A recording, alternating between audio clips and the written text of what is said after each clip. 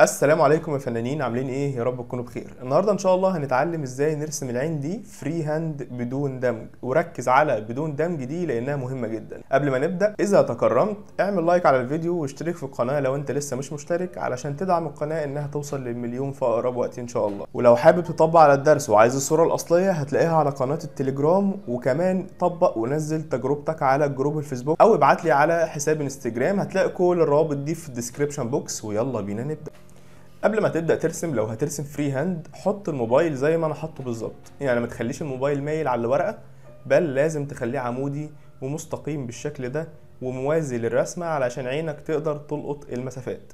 أنا لما ببدأ بالعين دايما بحب أبدأ بالجفن العلوي لأن هو ده اللي هيساعدني أحكم أو أجيب شكل العين.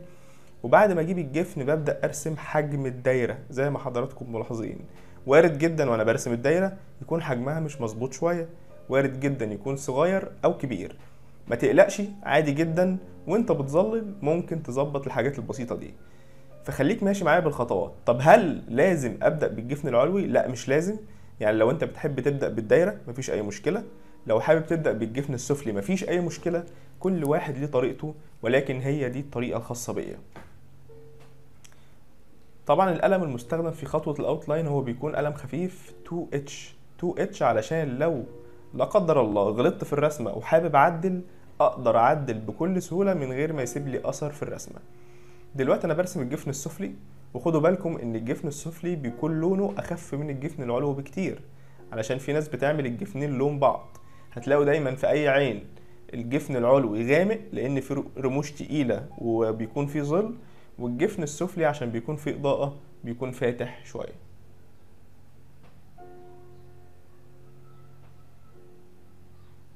نبدأ نعمل الكسرات اللي بتكون تحت العين.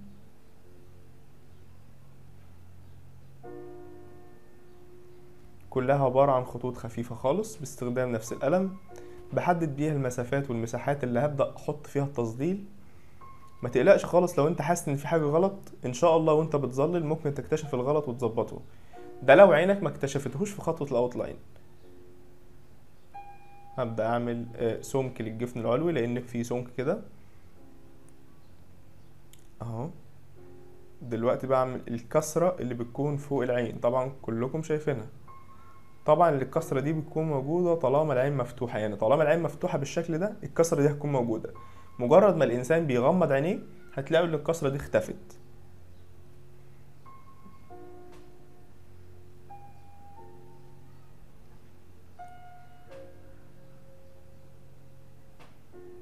دلوقتي هنبدأ نستخدم قلم تقيل زي 7 B أو 6 B أو 8 B أي قلم رصاص تقيل عندك. أنا بستخدم قلم ماركة Faber-Castell اللي هي الألماني لأن ال Faber-Castell فيه منه أكتر من صنع أو أكتر من دولة. هبدأ أشتغل بالقناة الدمعية دي القناة الدمعية اللي بينزل منها الدموع كلنا عارفينها. طبعا لونها واضح جدا في الصورة إنها سودة. فهبدأ على قد ما أقدر أضغط على القلم شوية مع تكرار الطبقات. كل ما هكرر الطبقات كل ما ألاقي اللون بيغمق معايا أكتر. ناس كتير قوي بتشتكي من نقطة إنهم مش قادرين يغمقوا. طيب إحنا ليه مش قادرين نغمق؟ اولا في ناس عندها فوبيا من التغميق. بيجوا يغمقوا يقول لك أنا بخاف الرسمة تبوظ. في المية إنها مش هتبوظ ولكن دي مجرد خوف بس من إنك تاخد الخطوة دي. فبمجرد ما تحاول تغمق هتلاقي الدنيا ظبطت معاك أكتر بكتير جدا. دلوقتي هستخدم قلم اتش بي في إن أنا أعمل تظليلات خفيفة داخل بياض العين. طبعا بياض العين ناس كتير برضو بتسيبه أبيض فهنا بتكون مشكلة. إنك تسيب بياض العين أبيض دي بتؤدي إلى إن العين ما تبقاش واقعية ابدا. فبالتالي لازم تخلي بياض العين واخد لون خفيف كده حسب اللون اللي في الصورة برضو يعني ما تغمقش زيادة عن اللازم. القلم المستخدم قلم اتش بي أنا كل قلم بستخدمه بصوره لكم في الكاميرا.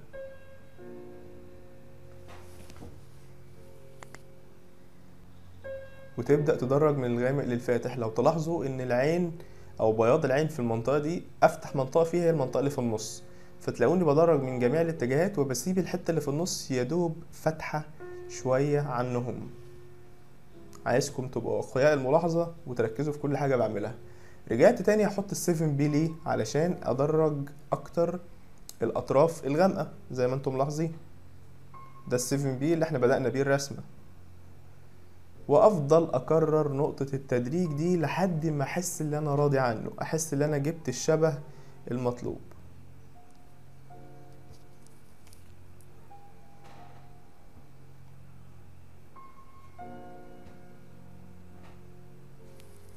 هنعمل برضو نفس اللي عملناه في بياض العين ناحية اليمين هنكرره ناحية الشمال ولكن خد بالك الناحية الشمال أفتح شوية. هو ده اللي أنا بتكلم فيه إن إحنا لازم نلاحظ قبل ما نعمل حاجة.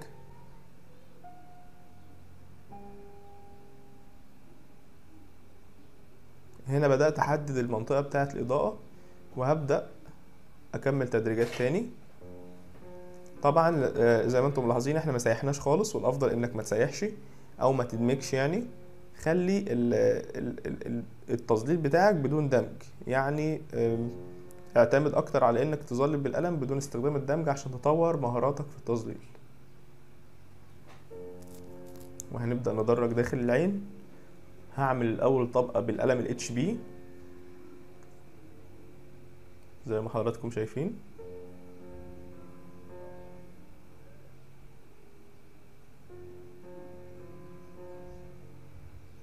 HB أهو. دلوقتي هرجع تاني للقلم ال seven B أغمق.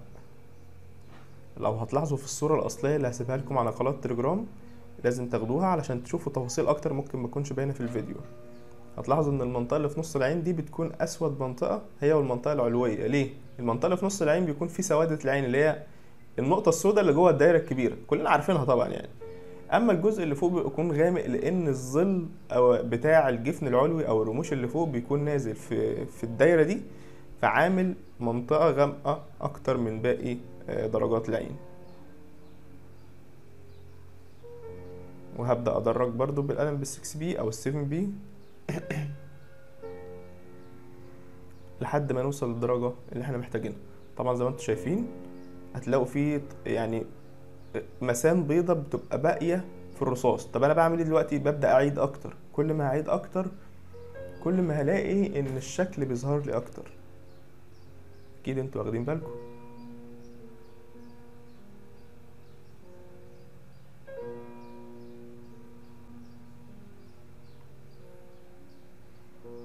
نسيبش المنطقة السوداء غير لما نحس إن إحنا وصلنا للدرجات السوداء اللي إحنا محتاجينها.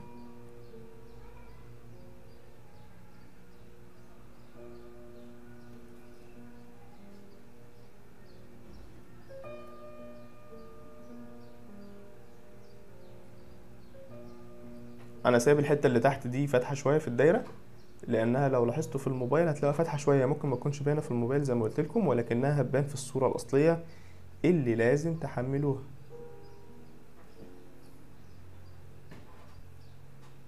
دلوقتي هنبدأ نستخدم قلم 2B أو 3B حاجة في الرينج ده ما تكونش غامقة قوي وهبدأ أحط تظليل آه، بين الجفنين وأعمل تدريجات فوق. أدرج من الجفن من غامق لفاتح يعني من تحت لفوق زي ما حضراتكم شايفين أهو.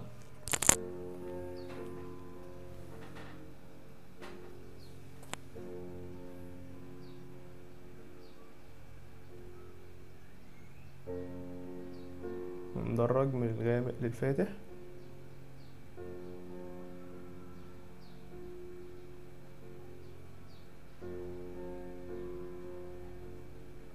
مع تكرار الطبقات زي ما اتفقنا. كرر طبقاتك. هنا هبدأ أستخدم قلم أخف شوية زي ال HB عشان أعمل عملية تنعيم شوية. اللي ما تعرفوش إنك لو استخدمت درجة فاتحة على الدرجات الغامقة ده هيساعد إن الدنيا تبقى أنعم شوية يعني التظليل يكون أنعم شوية. بدون ما تستخدم الدمج طبعا اللي هو قلم الدمج أو الودانة أو الحاجات دي. هبدأ أحط درجة في لمعة الإضاءة عشان هي مش بيضة طبعا. أحط لها درجة شوية بالاتش بي هعمل لها زي تدريج يعني قريب من التدريج اللي أنا عملته في بياض العين.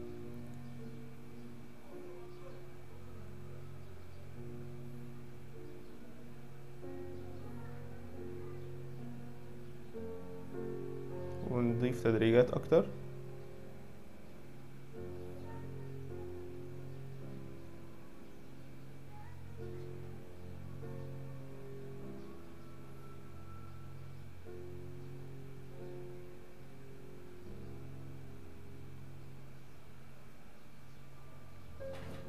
عملت تظليل بس لسه هعمل الرموش ال- أو انعكاس الرموش اللي فيها بعد كده. دلوقتي ننزل ندرج تحت بالقلم بال 2 B أو 3 B اللي موجود عندك يعني. إحنا مش عايزين نعجزك. طب هو إحنا ممكن نستخدم قلم واحد في الرسمه دي كلها؟ آه ممكن. ليه لأ؟ جرب. استخدم 2 B أو HB وتحكم في إيدك إنك تتقل وتخفف باستخدام إيدك أنت آه، مش باستخدام أداة دمج.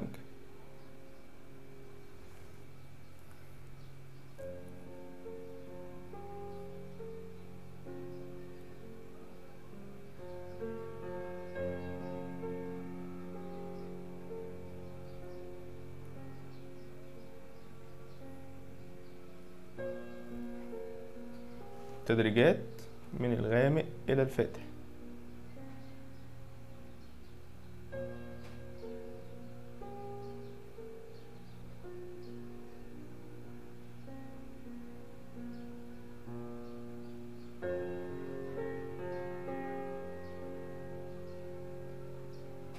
تلاحظوا إن إحنا كل ما بنخلص جزء جديد كل ما تلاحظوا إن واقعية العين بتظهر. يعني كل ما بنشطب جزء الدايرة الجفن العلوي الجفن السفلي الكسرات اللي إحنا بنعملها هتلاحظوا إن الشكل بيكون واقعي أكتر. ودي دي متعة الرسم دي متعة ال... إنك تشوف كل خطواتك خطوة بعد خطوة بتظهر أكتر. هي دي المتعة هو ده الغرض من الرسم يا جماعة. إن إحنا بنتعب في الأول عشان بعد كده بنلاقي نتيجة اللي إحنا تعبنا فيه ده. هبدأ أغمق أكتر. استخدام قلم آه، 2B وقلم 6B وقلم HB في الآخر في المنطقة الفاتحه دي. ده قلم HB أهو. عشان طبعا لازم نطلع بالتظليل ده على خفيف خالص. إحنا متفقين إن التظليل لازم يكون متدرج من غامق إلى فاتح.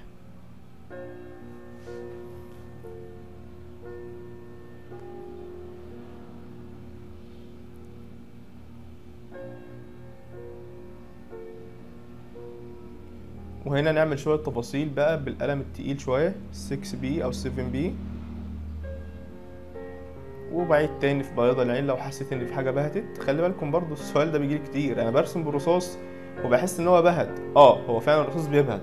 إيدك تمشي عليه. وكمان ممكن ما يكونش بيبهت. ممكن لما أنت تكمل مناطق غامقة حواليه تحس إن المنطقة الفاتحة دي مكان اللي أنت كنت عاملها يعني ما كانتش بالدرجة المطلوبة. فلما بترسم الغامق الغامق بيظهرها أكتر فبترجع تغمقها. فاهمين؟ وبعد كده برجع أدرج فوق في المسافة اللي ما بين ال- العين وال- والحاجب يعني المنطقة اللي فوق يعني وناحية اليمين.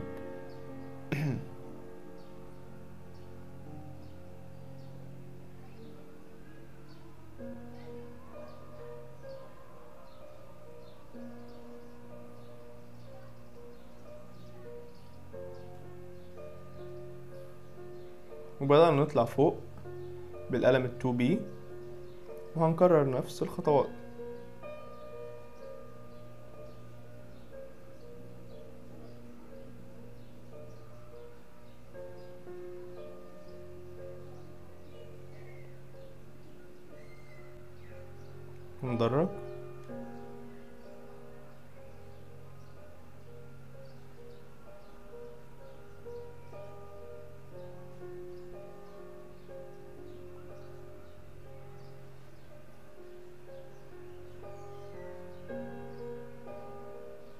وهتستمر في وضع الطبقات فوق بعضها لحد ما توصل للدرجة اللي انت حاسس فيها ان انت خلاص وصلت للدرجة الغامقة.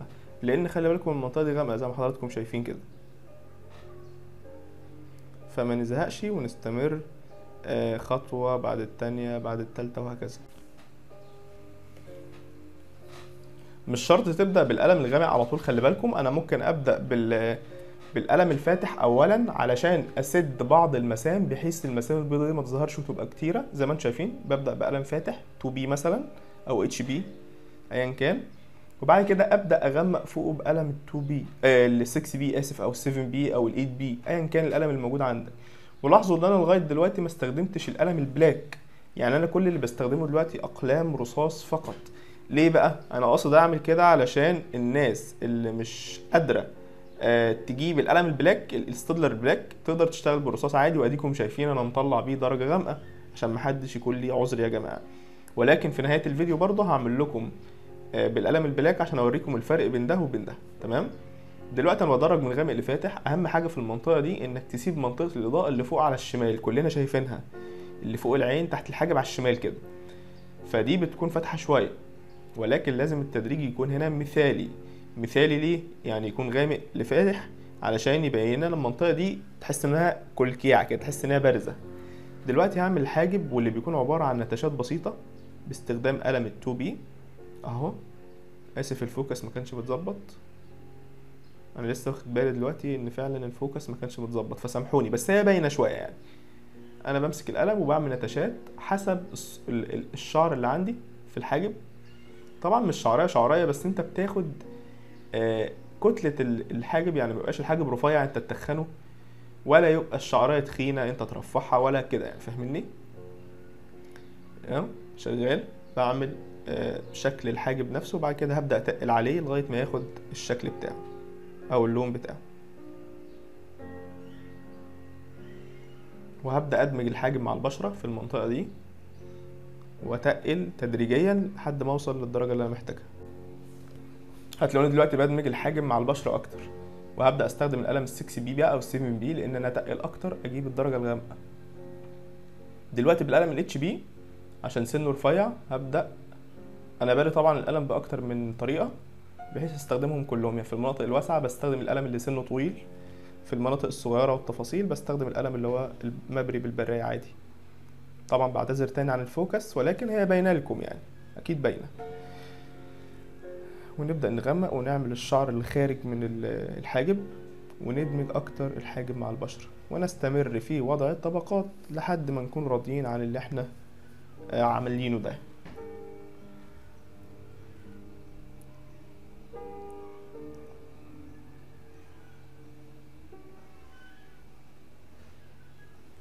دلوقتي بنعمل الرموش يا جماعة وهعملها باستخدام القلم ال black بقى. كان ممكن تعمل رصاص عادي بس أنا قررت أعملها بال black. ال black ده أو القلم الألوان الخشبي بيدينا اللون الأسود اللي أنتوا شايفينه. الرموش بتكون عبارة عن إيه يا جماعة؟ بص الرموش بتكون عبارة عن قوس ولكن مش منحني قوي. وبتبدأ من تحت من الجفن نفسه لفوق يعني محدش يبدأها من فوق لتحت. ليه من تحت لفوق؟ لأن الرمش لازم يكون بدايته تخينة ونهاية الشعرايه من فوق رفيعة خالص زي ما أنتم شايفين. يعني لازم النتشة الأخيرة اللي أنا بعملها فوق دي عشان تديني سمك رفيع جدا للشعرايه من فوق ويكون تخين ومندمج من تحت مع الجفن نفسه. وخدوا بالكم إن سن القلم في الخطوة دي لازم يكون مبري طبعا مش محتاجين إن إحنا نوضح النقطة دي. بحاول أدمج الرموش مع الجفن من هنا أهو رموش مع الجفن عشان تبان إنها واقعية. ودلوقتي هبدأ أعيد على بعض الخطوط باللون الأسود اللي هو اللون الخشب الأسود عشان يديني تأثير غامق أكتر. بعتذر مرة تالتة أو رابعة على الفوكس اللي آه بيبوظ ده لأن ما كنتش واخد بالي منه وأنا بصور للأسف. هبدأ أعيد شوية باللون الأسود على آه في الدايرة داخل الدايرة وتلاحظوا الفرق هو مش هيكون فرق كبير ولكنه لذيذ يعني. الأسود اللي بنعمله ده بالقلم البلاك أو بالقلم الألوان الخشبي بيكون بيدي واقعية شوية. تحسوا إن الأسود ظاهر أكتر. وهعيد برضو على الجفون والقناة الدمعية. تلاحظوا العين نطقت شوية عن الأول يعني.